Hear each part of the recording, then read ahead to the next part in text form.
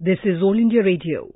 In the program Spotlight now, we bring you an exclusive interview with Secretary, Ministry of Electronics and Information Technology, Ajay Prakash Sawhney, on Digital India Anniversary. The interviewer is AIR correspondent Sonu Sood. The Digital India program was launched to transform India into a digitally empowered society and knowledge economy. Six years after its launch, it is being hailed as one of the government's biggest achievements. In his address, Prime Minister today said, Digital India is sadhana of Atmanirbhar Bharat and slogan for stronger India in 21st century. Sir, looking back, how do you view the progress India has made on the digital front in these six years of Digital India? I think we have made very serious progress in these six years. The digital footprint has spread nationwide. Aadhaar now covers 129 crore records. Mobiles are there with 115 crore mobile subscribers, 160 crore bank accounts. There are almost 80 crore internet subscribers. So this is a very, very significant leap over what was there six years ago.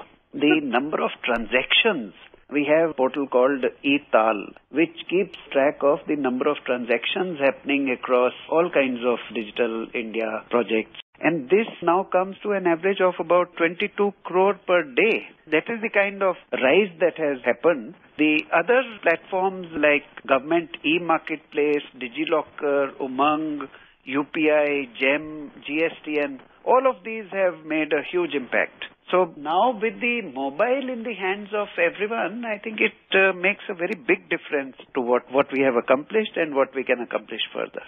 So, what are the key programs under Digital India that have given a boost to digital empowerment across the country, if you would categorize them broadly?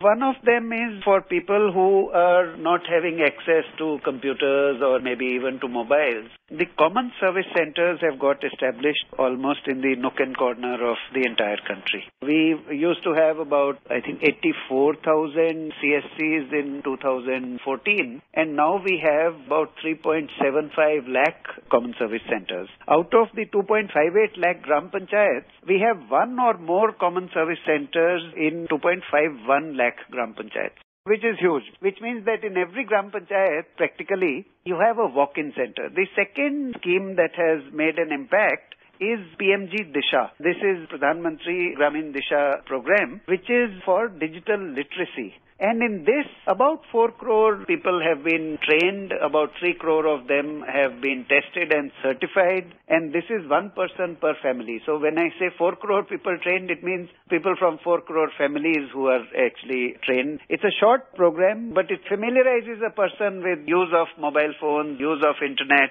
and digital payments and such things. Third thing that has empowered people is a very recent one. The e-Gramin stores that have been opened by common service centers. Today, Honorable Prime Minister also spoke to someone who was a beneficiary who had used the services of Gramin e-store.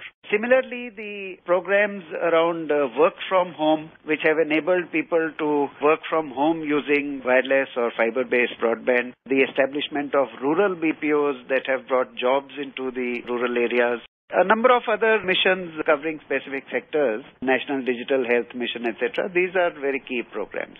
In fact, the thrust of Digital India was to realize the Prime Minister's vision of a digital Bharat, that is, a digitally empowered villages. So you have outlined uh, the various ways in which the government has progressed in this endeavor. What are the key challenges in this regard? We have reached about uh, 1.7 lakh gram panchayat fiber has reached now under the BharatNet program. 80,000 gram panchayats still to be covered in this. And then once the fiber reaches the gram panchayats, taking it further to all the villages in the gram panchayat. There are about 6 lakh villages in the country. So that's the next important step. And then also making sure that either through wireless or through fiber, everyone, every family in the country should have good access to broadband, good access to internet, and good access to various services that are carried over these mediums. So that is one challenge. The second challenge, of course, remains digital literacy and uh, empowerment, which again we are making very good progress. There are about 15 crore rural families in India. So we have covered about 4 crore families with uh, at least one person in the family becoming digitally literate in a formal manner. So we have to also take up uh, further programs in that direction. The third uh, significant challenge is popularizing our nationwide platforms and uh, making sure that the awareness is there about the kind of services that are available through eSanjeevani, for instance, or Diksha platform in education. So these are fabulous sets of services which are already available. But not all the families are aware. They don't make use of these. So there's a lot of ground to cover in popularizing and ensuring that these are used in a very significant number by families spread across the country. So there is a natural hesitancy towards adopting a change, especially if it's a technological change. Of course, we have seen also the other way actually that a number of families where we don't expect them to use a particular service, we have seen uh, huge adoption, especially during the COVID pandemic. The number of persons downloaded Aarogya Setu, for instance. More than 19.5 crore people have downloaded Aarogya Setu. Huge. And uh, similarly, the number of people who have uh, used CoWIN for their COVID vaccination and for getting certificate, that once again is a huge number. So much so that the CoWIN platform is now attracting attention across the globe and many other countries want to make use of it. Another thing is that you just now talked about the smartphone boom. Now that coupled with affordable data, data prices have really come down because of the efforts of the government. So this boom has penetrated almost every nook and corner of the country. How has the government leveraged this boom to improve governance and service delivery and move ahead on its path of minimum government, maximum governance? We have some of the flagship programs that not just make use of this factor directly, but also enable a large number of other services to become easy to use. Aadhaar, for instance. Aadhaar is not primarily a physical identity card. It's a digital, it's an online identity card. It's something that you can invoke in various kinds of applications whether it is for opening a new bank account or it is for getting a new SIM card or for various other activities. It's a very flexible kind of digital identity which a person carries. Umang has uh, brought in a huge number of services, services that used to be provided over separate apps by different departments, some by this state government or that state government, one city or the other. We now have almost 21,000 1,000 services available or accessible through Umang app alone. And out of these, about 18,000 plus are, of course, digital payment services or billing services. But uh, the remaining are other types of services pertaining to EPFO, pertaining to PAN, pertaining to the municipal services of all kinds. So all of those services are now available on one app. So that seriously empowers anyone who has a mobile phone because through one app and through one kind of a login, you are able to maintain access to a very large number of services. Similarly, DigiLocker has been a great enabler for people who use mobile phones because in carrying, for instance, the vehicle registration papers or driving licenses